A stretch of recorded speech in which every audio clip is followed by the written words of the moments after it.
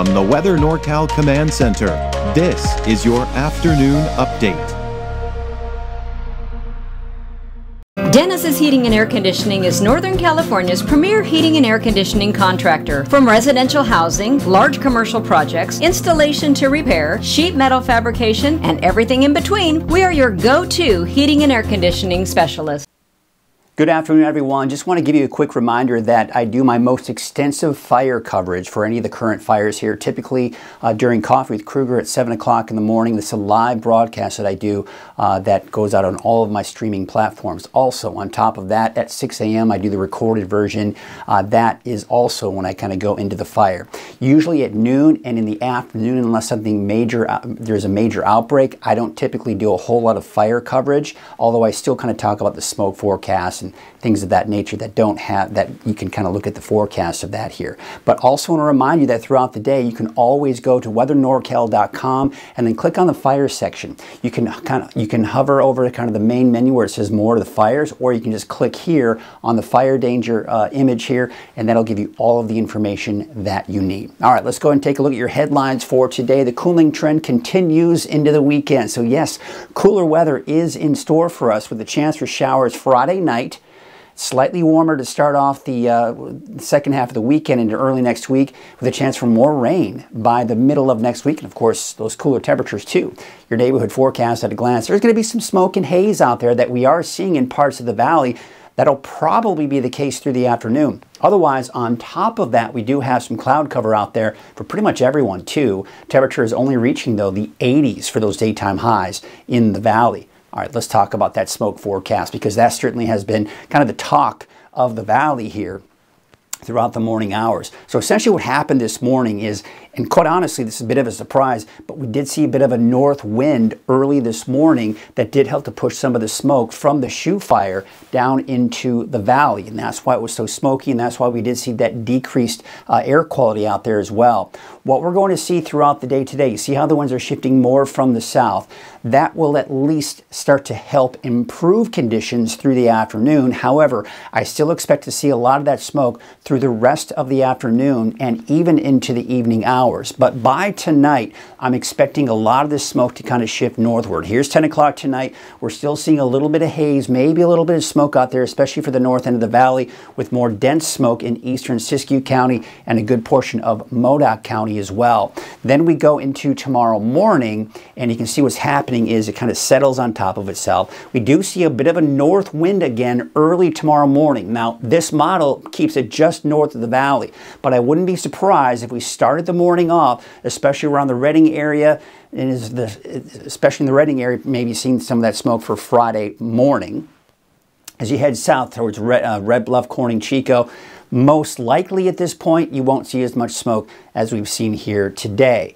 All right, let's take you into Friday afternoon. And again, those winds shift more from the south, so that should keep most of that smoke to our north as we go into Friday afternoon. And there you can see again where most of that smoke will be is in eastern Siskiyou County and most likely even into western uh, Modoc County as well. That's Friday at 5 p.m. So conditions tomorrow may not be as bad as what we're seeing out there for today. All right, let's take a look at the fire weather risk and we take a look at the winds of one of the factors here. The winds, pretty typical afternoon breezes that we are seeing. Stronger winds though for the valley in particular as we go into Friday afternoon because of the approaching storm system but the humidity levels are going up at that point. We take you into Saturday, those winds should start to die down as we go into Saturday afternoon. So the other factor that we look at is the humidity. So we're in the mid to even upper teens for the valley today. That certainly is a help.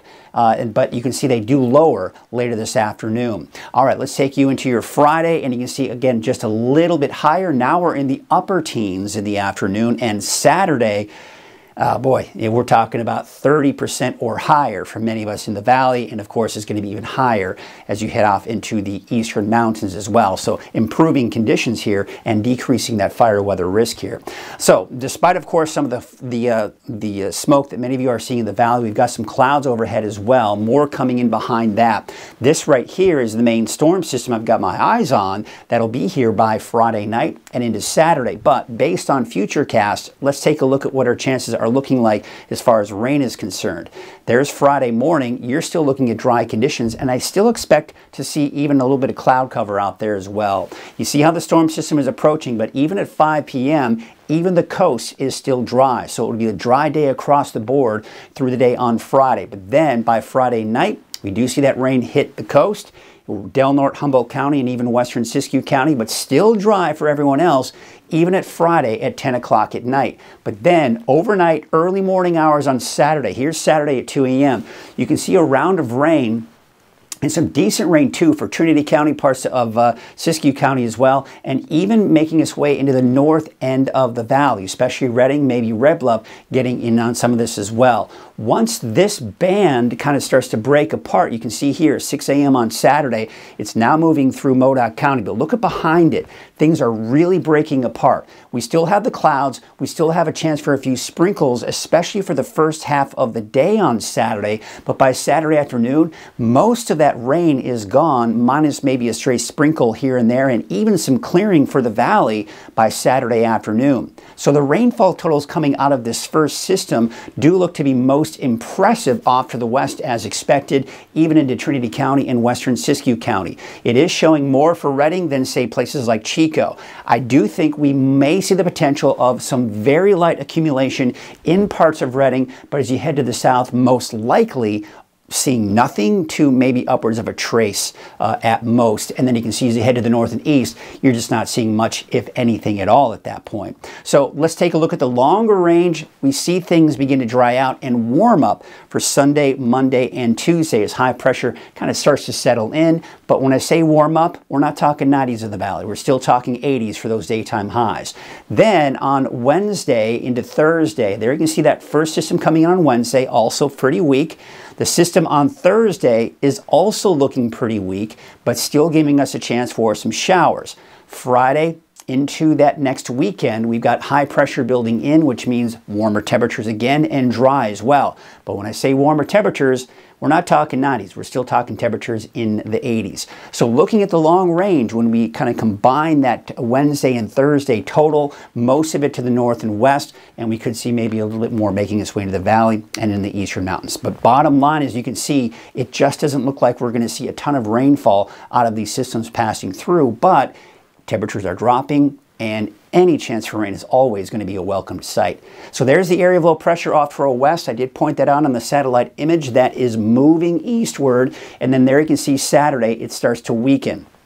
High pressure starts to settle back in for Sunday, Monday, and Tuesday. That's going to be the bump up in those temperatures as we go into early next week. Then this trough of low pressure, cooler air associated with it, riding mainly to our north, but it will clip Northern California, giving us not only the cooler temperatures, but even a chance for showers toward the middle and latter part of next week. And then there you can see that ridge of high pressure building in behind that towards the end of next week, which means, yes, warmer temperatures again. So there's your forecast for today, mainly staying out of the 90s in the valley, mid to upper 80s for today. You've got 70s for most of the higher elevations, although in parts of Trinity County like Weaverville, Hayfork, low 80s, low to mid 80s for the inland areas and for the coast temperatures in the low 60s. So as we look at your seven day outlook, what we're seeing here is, of course, there's temperatures continuing to drop. By Saturday, I've got that chance, wording of chance in there. Now, again, I expect most of it, as you saw in Futurecast, will be late Friday night, early Saturday morning. Otherwise, Saturday fairly dry with mostly cloudy skies. Temperatures increasing, drying out as well for Sunday, Monday, Tuesday. Then maybe another chance with cooler temperatures by the middle to latter part of next week. For the coast, inland, and Weaverville, of course, the coast low to mid 60s. Chance on Saturday, another chance by Wednesday. And for the inland areas, also that chance for Saturday and uh, Wednesday of next week.